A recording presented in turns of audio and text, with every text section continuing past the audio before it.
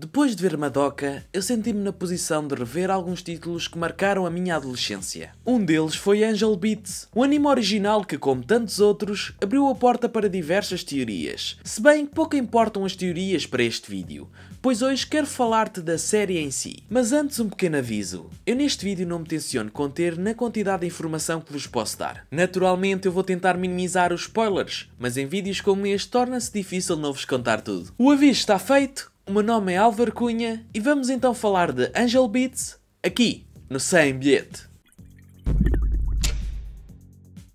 Primeiro vou começar por vos dizer quem é o autor desta história. Isto vai ajudar-vos a perceber que tipo de história estamos a falar. Angel Beats esteve às mãos de Jun Maeda, um autor conhecido por escrever visual novels. Aliás, ele é até conhecido por ser um dos pioneiros do género. Para vos contextualizar, visual novels também podem ser traduzidos como videojogos com sistemas de rotas, muito semelhante ao que acontece com jogos como Heavy Rain e Detroit Become Human. Aqui, simplesmente decidimos o destino do personagem através das nossas escolhas. Este estilo de jogo é muito popular no Japão, e Jun foi o criador de vários sucessos, que inclusive ganharam anime. Little Busters, Clanad e Air Todas estas obras chegaram a ter anime, o que só confirma a popularidade do autor. Talvez agora estejas a perguntar, sendo assim, será que Angel Beats é baseado num videojogo? Não exatamente. Jun também foi o autor de várias obras originais, como Charlotte e Angel Beats. No entanto, algumas obras dele deste género chegaram a receber uma visual novel depois mais tarde, como é o caso desta que estamos a falar hoje. O que não deixa de ser interessante,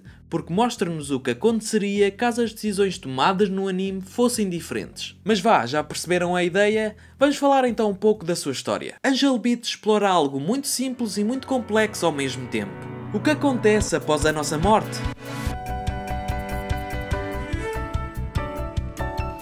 Através desta premissa, o autor apresenta-nos uma escola onde os seus estudantes são pessoas que faleceram na sua adolescência. Nessa escola, eles terão que viver uma vida normal, para que no futuro possam concluir a sua passagem pela escola e poderem reencarnar. Esta passagem resume-se na aceitação da sua própria morte, sendo que as únicas pessoas que entraram na escola são pessoas mal resolvidas. Pessoas que não aceitam a sua morte ou que tiveram uma morte trágica.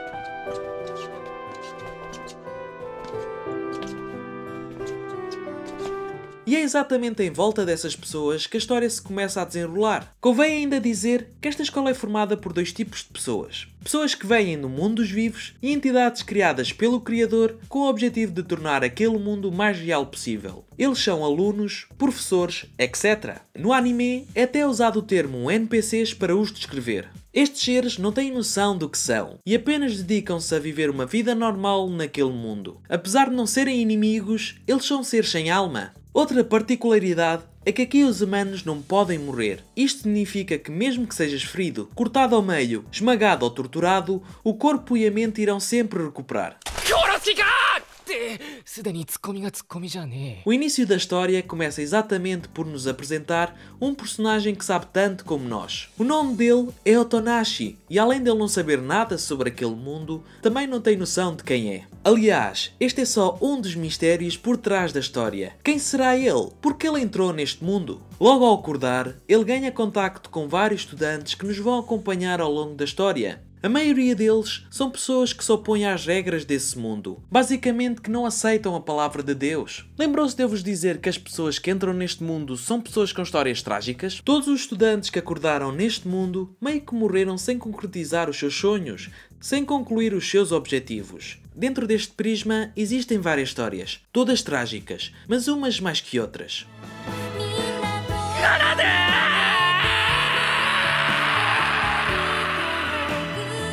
Uma que marcou imenso foi a história de Yuri, uma rapariga que testemunhou a morte das suas três irmãs durante um assalto à sua casa. Ela era ainda muito jovem e culpou-se por não ter conseguido proteger os seus irmãos. Naturalmente, isto fez com que criasse uma raiva enorme a Deus. Afinal, o que ela teria feito para merecer tudo isto? Foi exatamente este momento de raiva que a fez questionar, e quando acordou naquele mundo, decidiu criar uma pequena organização que tinha o objetivo de lutar e descodificar os mistérios daquele mundo. Outra história triste triste é de uma personagem chamada Yui, que devido a um problema de saúde, a sua vida foi passada numa cama em casa. Ela não podia andar, não podia comer sozinha, dependia sempre da ajuda de alguém para fazer algum tipo de atividade. Obviamente, isto fez com que ela tivesse mil e um sonhos por realizar, e após a sua morte, ela acabou por chegar a esse mundo também.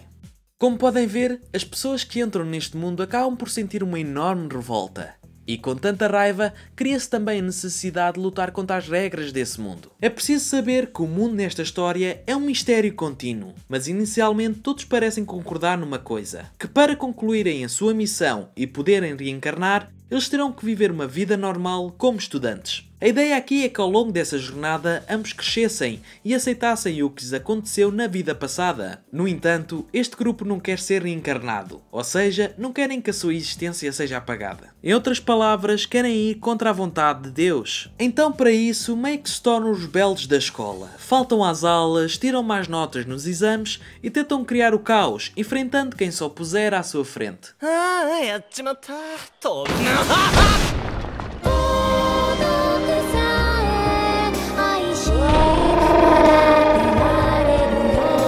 Sim, isso mesmo. Esta história não tem vilões, mas vão aparecendo alguns inimigos no decorrer dos episódios. Assim como existem pessoas com interesse de ficarem por lá, existem pessoas que simplesmente procuram não só encontrar a paz, como também ajudar a encontrar a paz dos outros. Afinal, se formos pensar bem, toda a gente tem o direito a uma segunda oportunidade. Um dos personagens que pensa assim é apelidado de Anjo uma rapariga que possui algumas habilidades especiais. Habilidades essas que fizeram os belos pensar que ela seria uma espécie de protetora desse mundo. No entanto, à medida que a história avança, acabamos por descobrir que ela não passa de um humano real na mesma situação.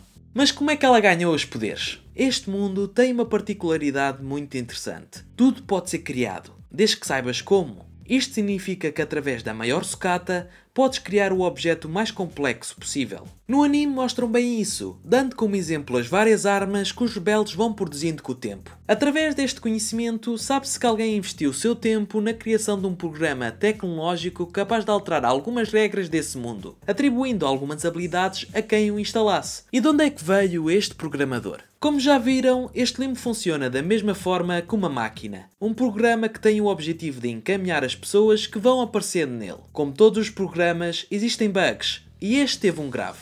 Se este programa tinha o objetivo de receber apenas pessoas mal resolvidas, o que aconteceria se por mero acaso o programa selecionasse uma alma que já estivesse resolvida? Não sabemos quantas pessoas tiveram este azar, mas no anime tivemos conhecimento de duas, Otonashi e o programador. Durante a sua estadia, o programador apaixonou-se por uma das estudantes, que acabou por desaparecer depois de sentir-se realizada. Escusado será dizer que ele não conseguiu aceitar que ela desaparecesse e decidiu esperar que ela fosse lá parar novamente. Para perceberem as chances disto acontecer, vamos lembrar que para entrar neste mundo é necessário morrer durante a adolescência 次に目覚めた時私は言葉を話せなかった頭部打撲脳梗塞による失語症 e ter algum tipo de assunto pendente.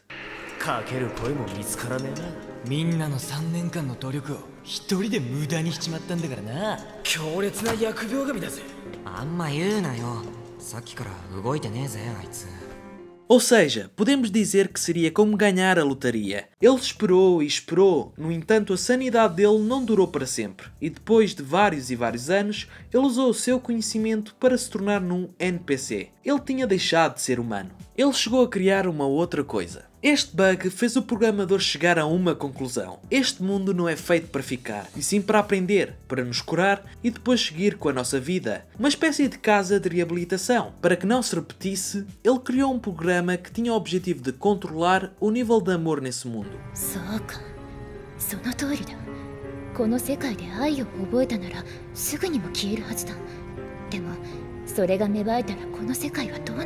Caso fosse superior ao imposto pelo programador, um programa iria apoderar-se dos NPCs, transformando-os em sombras que iriam consumir os humanos e, por sua vez, tornando-os em NPCs também. Como já viram, esta história está cheia de mistérios. Afinal, quem é que criou este mundo? Quem é que é o programador e porque é que o programador fez esse tal programa. O anime acaba por nos prender a atenção graças a esta fórmula, onde cada resposta faz surgir novas perguntas. Além disso, o anime também nos dá a oportunidade de pensar mais além da história, o que não é mau porque sinto que foi proposital. O anime dá-nos a escolha de interpretar e de fazermos a nossa análise. Chega até a ser parecido com uma visual novel, este anime também se foca imenso nas relações humanas. O romance é uma parte importante na história. Como já vos disse, o limite imposto pelo programador foi o amor, porque naquele mundo isso não devia existir. No entanto, este pequeno grupo de pessoas começou a apaixonar-se, a fazer amigos e a conviverem como se fossem família. Isso significa que as pessoas que iam ficavam na memória dos que ficavam, um pouco como acontece connosco no nosso dia a dia. Otonashi, enquanto esteve lá, viu várias pessoas partir na frente dos seus olhos. Num episódio específico, ele chega até a impedir um amigo de concluir o seu sonho, para não ficar sem ele. まさかセカンドフライ。あの時と同じだ。ひなた！こいつを取れば終わるのか。そいつは最高に気持ちがいいな。取るなひなた。俺は俺はお前に消えてほしくない！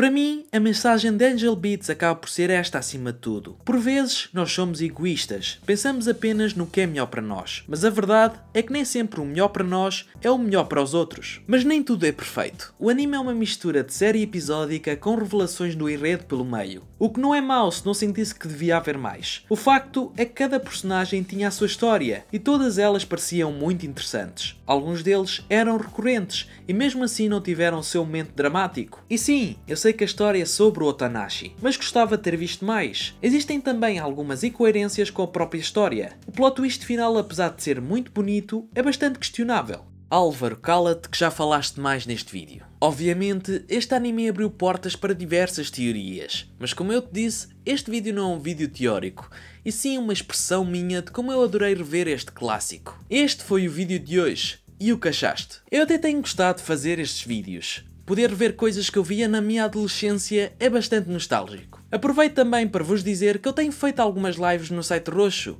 e tem sido muito divertido, por isso eu vou deixar o link na descrição para quem quiser seguir. Como já é habitual, deixo também as redes sociais do Sem Bilhete e as minhas pessoais. Aproveita já que estás com as mãos na massa e deixa like no vídeo, pois isso ajuda imenso o canal a crescer. Subscreve o canal para não perderes os próximos vídeos e não te esqueças de passar pelo blog Cambada de Críticos, o lugar ideal para descobrir se vale ou não a pena ir ver aquele filme ao cinema. Tchau! き出せる